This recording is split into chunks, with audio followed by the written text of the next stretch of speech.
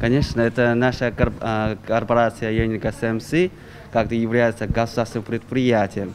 И это Беларуси, как наши, как очень надежные как-то э, партнеры и друзья.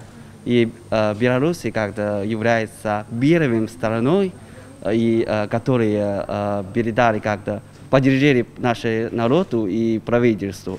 В апреле мы уже как-то здесь привезли э, 21 тысяч медицинский защитный костюм.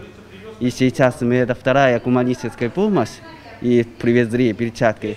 Вместе победим над коронавирусом.